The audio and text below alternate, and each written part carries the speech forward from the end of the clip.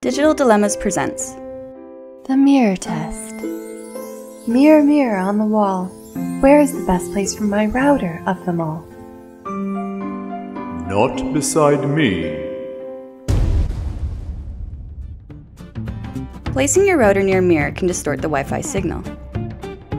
For a consistent signal throughout your home, it's better to place your router away from mirrors and other reflective surfaces. Stay tuned for more digital dilemmas.